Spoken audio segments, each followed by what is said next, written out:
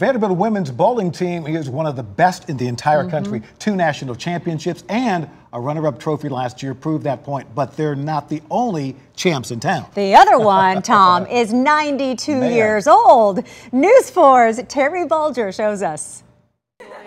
Rosemary Stroon just wanted to hang out with some teenagers. The Vanderbilt women's bowling team, intense, competitive, and great.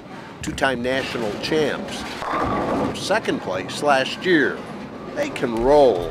They are so good, and their their their form is gorgeous. Rosemary, a former dancer, knows about gorgeous. 25 years ago, at 67, her 90 year old mom had some advice.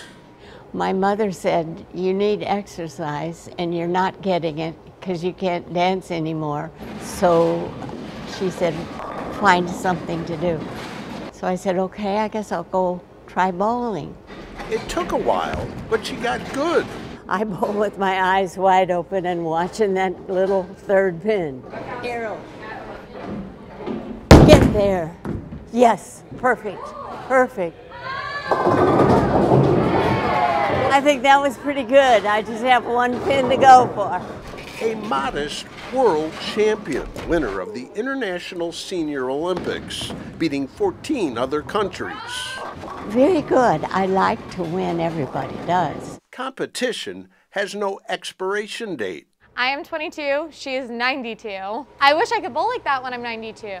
Young and older, both chasing those strikes and spares. Terry Bulger, News 4.